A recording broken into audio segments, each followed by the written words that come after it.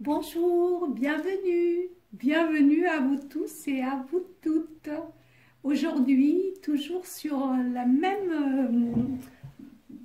le même système hein, euh, dont nous avons maintenant l'habitude, vous posez euh, une question qui appelle une réponse par oui, par non, par peut-être et euh, je vais euh, tâcher de trouver euh, la réponse ici à l'aide de ces cartes. Sachant que ces cartes sont personnelles, donc elles n'existent pas sur le marché, et que j'ai voulu, on va dire, innover, créer, faire différemment. Alors vous allez regarder ici, je vais vous aider numéro 1, ici, il y a marqué défunt. N'est-ce pas? Je vais vous montrer. Voilà. Ici, il y a guide. Marqué votre guide. Donc, c'est votre guide. Ensuite, ici, la troisième, c'est marqué votre âme. Donc, c'est l'âme. En quatrième, l'animal totem. En cinquième, un être galactique. En sixième, l'ange gardien. Et euh, en septième, l'univers. Alors, je vous explique. Pour ceux euh, qui ont déjà une question euh, claire, nette et précise dans votre tête, je vous demande de choisir le personnage ou l'objet ou l'animal euh, que vous euh, voulez euh, qu'il vous apporte votre réponse. En dessous, il y aura la réponse à votre question. Donc, si vous souhaitez que ce soit un défunt qui réponde à votre question, vous choisissez le numéro 1.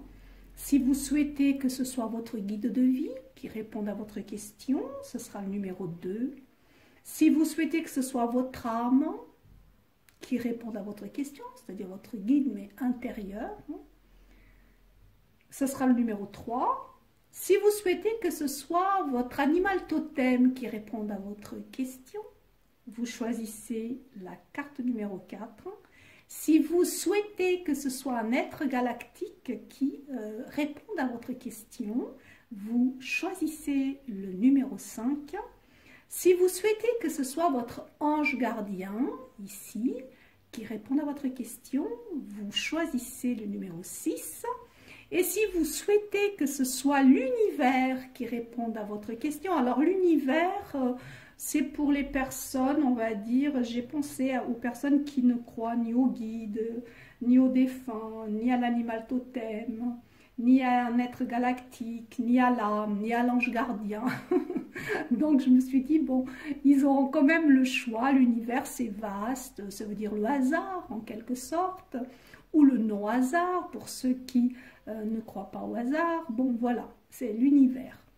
On ne sait pas, on ne sait pas qui, c'est l'univers. Voilà. Alors, mettez en pause si besoin, comme d'habitude réfléchissez bien à votre question. Vous pouvez en poser euh, deux hein, ou trois questions et puis choisir euh, eh bien, des êtres différents pour vous répondre, bien entendu. Allez, c'est parti, je retourne la première carte. Si vous avez euh, choisi la carte numéro 1 qui symbolise la réponse d'un défunt à votre question, ce défunt vous explique que votre route va être longue pour arriver euh, à l'aboutissement de votre désir. Donc ce n'est pas un non, mais ce n'est pas un oui non plus et euh, je pense que euh, sur la route vous trouverez votre réponse, mais le défunt vous indique que cette route n'est pas terminée et elle risque d'être longue. Pour ceux qui ont choisi le numéro 2, donc vous avez choisi votre guide de vie et votre guide de vie vous répond non. Alors votre guide de, vie vous répond non. Pourquoi? Parce que ce n'est pas la bonne voie pour vous. Ce n'est pas, on va dire, la voie juste pour vous. Il y a mieux, il y a plus rapide, il y a plus joyeux. Voilà qui vous attend. Pour ceux qui ont choisi le numéro 3, c'est-à-dire l'âme, l'âme vous répond oui. Votre âme vous dit que c'est oui à votre question, la question que vous avez posée aujourd'hui. Pour ceux qui ont choisi le numéro 4, c'est-à-dire l'animal totem, eh bien, votre animal totem vous répond et il vous dit que ici, il y a un obstacle. Donc, c'est plutôt un peut-être, mais un peut-être plutôt non quand même, hein, parce que c'est un sacré obstacle ici qui euh, se dresse sur votre route par rapport à la question posée. Si vous avez choisi le numéro 5, donc vous avez choisi cet être galactique afin qu'il vous apporte une réponse, la réponse à votre question, l'être galactique vous répond Oh ben, il n'y a rien en dessous, donc ça veut dire que la voie est libre pour vous. Vous avez toutes les options. Et alors, je vais vous faire je vais vous faire une, confidence, je ne l'avais pas prévu. je crois que j'en avais mis une en dessous. C'est génial. Donc, la voie est libre. Sous, quelle que soit euh, votre question, ici, bah, on vous dit que vous pouvez y aller. Il n'y a rien à craindre, on va dire. la preuve, c'est qu'il n'y a pas de carte. J'adore. Si vous avez choisi le numéro 6, c'est-à-dire votre ange gardien, eh bien, l'ange gardien vous répond, répond en tout cas à votre question.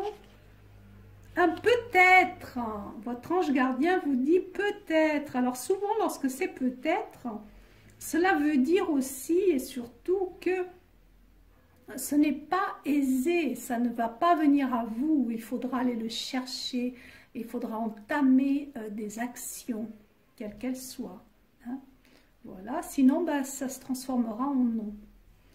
Et si vous avez choisi la numéro 7, c'est l'univers. Vous en remettez à l'univers et l'univers vous dit qu'il y aura de l'attente. Beaucoup d'attente ici.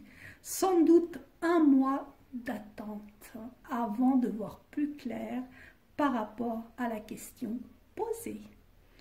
Voilà ce oui ou non sur une question précise est terminé.